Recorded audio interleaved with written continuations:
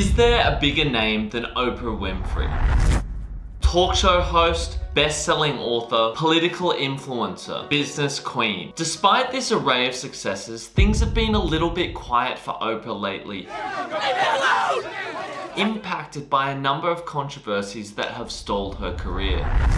Oprah Winfrey, you know what you need to do and stop hiding behind what you call was negative comments. Watch this video and let's explore her rise to fame, her successes and failures, the stale story of truly one of the most powerful women on the planet. Get ready to feel the Oprah effect. It was phenomenal amazing and still is. You know, it is the gift that keeps on giving. and if you like this content, don't forget to like and subscribe because there's more videos like this on the way. A star is found. Born in Mississippi, Oprah's story is a typical rags to riches story. Raised in rural poverty, living with her grandmother, and never knowing her biological father, Oprah leveraged her natural gift for public speaking, winning a beauty pageant in 1971. Oprah was scouted by the local radio station WVOL and was offered a part-time newsreader role. On the back of this success, Oprah was offered a full scholarship Tennessee State University, and not long after graduating, graduating, was offered her first television role with WLAC in Nashville, making her the youngest and first woman of color to be hired as a newsreader on the show. Fast forward to 1984 and Oprah was given the role to host a struggling morning program called AM Chicago. Good morning everybody, I'm Oprah Winfrey, the new host of AM Chicago and I am thrilled to be here. After two years of hard work and a blockbuster role in Steven Spielberg's film the color purple. All my life I had to fight. The show was renamed The Oprah Winfrey Show. The Oprah Effect. Oprah's show ran for over 25 years and became one of the most recognizable shows in the entire world. The Oprah Winfrey Show was syndicated to over 150 countries around the world and in the US alone would receive 40 million viewers a week. Many of the most prominent pop culture moments of the 90s were defined by Hallmark interviews on her show. Let's go through five of those moments. Number one, the weight loss trend. In 1988, Oprah wheeled out 67 pounds of fat on a carton to symbolize the weight she had lost on a liquid diet, leading to a popularization of weight loss programs around the world. Number 2. The Secret Life of Michael Jackson In 1993, Oprah gave the public the first glimpse into the private home of Michael Jackson on his Neverland Ranch. She also brought up topics with him that he was previously uncomfortable addressing. These include the color of his skin changing over time. So when did this start? When did your the color of your skin start to change? But you know what's funny? Why is that so important? I'm a great fan of art. I love Michelangelo. Mm-hmm. If I had a chance to talk to him or read about him, I would want to know about what inspired him to become who he is, the anatomy of his craftsmanship, not about who he went out with last night or why he decided to sit out in the sun so long. What's mm-hmm. wrong with, I mean, that's what's important to me. And his traumatic childhood at the hands of his father. So he would tease you, make fun of you? Yes. Would he, did he ever beat you? Yes. He did. Yes. And that was difficult to take, getting yes. beaten and going on stage and performing. Yes. Number three, public acceptance of gay rights. In 1997, Oprah was joined by her friend Ellen DeGeneres, who used the opportunity to announce to the world that she was a proud lesbian. You're gay. So what are you gonna do now? I'm going to Disneyland.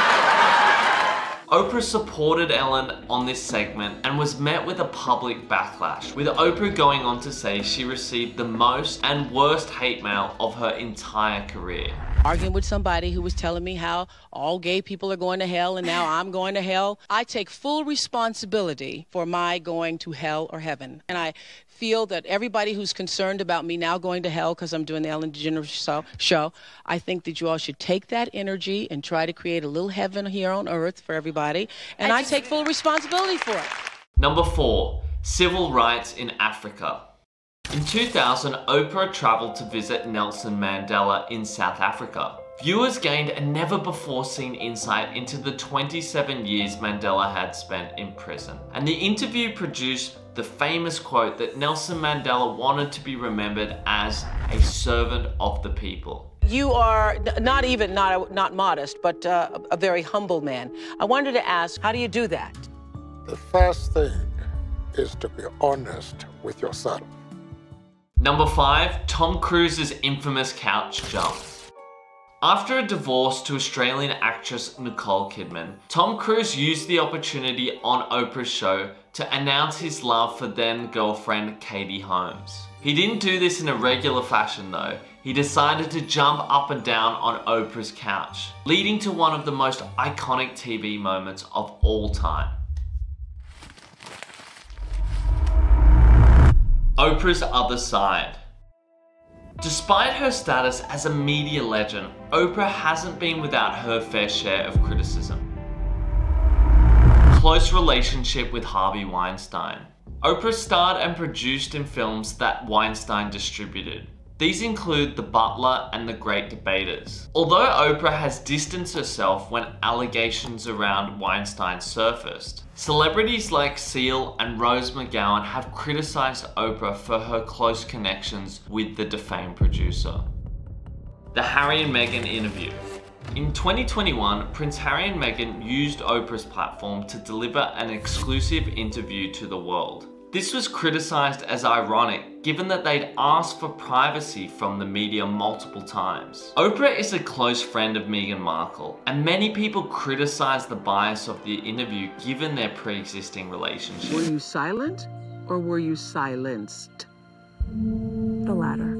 I just didn't want to be alive anymore. And that was a very clear and real and frightening, constant thought.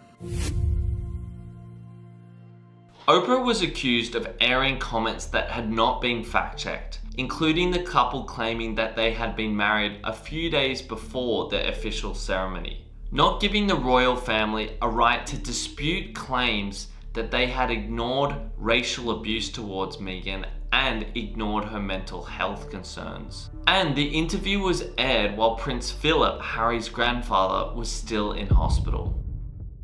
Promotion of The Secret. Basically, the message of The Secret is the message that I've been trying to share with the world on my show for the past 21 years. The message is that you're really responsible for your life. In 2007, Oprah dedicated two entire episodes to promoting a book called The Secret. The main principle of this book is that if you dedicate yourself to imagining wealth, fame, and success, Simply imagining it will bring it towards you and your life. The book went on to sell over 30 million copies and Oprah was widely criticized by giving false hope to those in low to medium socioeconomic backgrounds. Oprah's Empire Today Oprah Winfrey currently has a net worth of up to $2.5 billion. Unlike other celebrities who have partnered with large studios and corporations, Oprah had a majority ownership of her production studio from the very get-go. This company is called Harpo, and until recently, I never realized, but this is Oprah spelt backwards. Harpo evolved into a media juggernaut, and to understand the sources of Oprah's wealth, we need to break down the components of Harpo's structure. Harpo was organized into four parts. Harpo Studios managed the production of her show and the production of talk shows for other celebrities including Rosie O'Donnell. At its peak, the studio was earning over $150 million, but today it's a little closer to $20 million a year. Harpo Films was the largest division of the company, and it was behind feature films like Selma and The Waterman. Earnings from this division are at about $80 million per year. Harpo Print launched Oprah's magazine in the year 2000 and went on to become the most successful magazine launch since the turn of the century. With approximately 2.5 million readers a month and a revenue of $65 million a year. OWN or Oprah Winfrey Network was founded in 2011 as a joint venture between Oprah and Warner Brothers Discovery. This gave Oprah her very own TV channel. Today, her ownership of this is only at about 5%, which means that it brings in an estimated revenue of $20 million per annum. So when we add all of this up, even though Oprah is not as active as she was in the past, the combined earnings from these properties bring in about $185 million per year. Assuming a profit percentage of about 10% from these earnings, and the fact that she would still command close to $50 million in advertising and appearance fees, it's safe to say that Oprah currently today earns in the vicinity of $70 million per year. In addition, Oprah has made strategic investments investments, including the Oat Milk Oatly, which is now worth over $2 billion, and owning approximately 10% of Weight Watchers, which is worth $450 million. There's simply no stopping the Oprah business train. What's next for Oprah? Oprah has been particularly quiet over the last few years, potentially reinforced by the outcome of the Harry and Meghan interview.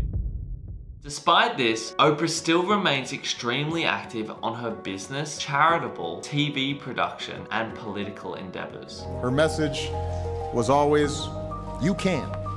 You can do, and you can be, and you can grow, and it can be better. Oprah has recently launched a new TV show on the Hulu network called The 1619 Project. It's also said that she'll interview Michelle Obama on an upcoming Netflix special. Furthermore, given Oprah's support of Barack Obama's campaign, many people expect her to become even more active during the next presidential election. Some people also say that Oprah may go on to run for president herself, being the first female president in the United States history. Whatever you think about Oprah, and despite some of the controversies discussed, Oprah will forever remain a pop culture icon and still has given away over a hundred million dollars of her own wealth to charity. Who knows what's next for the talk show queen? Perhaps another show, another business venture, or a run for president. If you want to be the first to find out, please subscribe to this channel and stay posted for more behind the scenes glimpses into the lives and business structures